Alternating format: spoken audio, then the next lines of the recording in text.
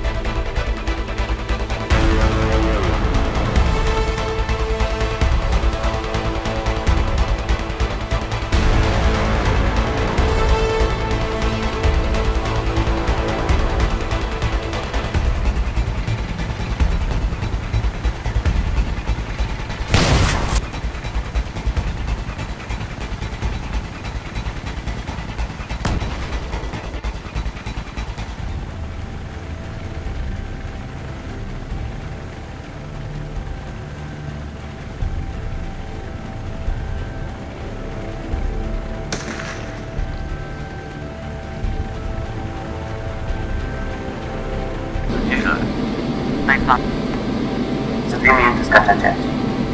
Oto fabryka, którą atakujecie. Plan dotyczy grupy uderzeniowej.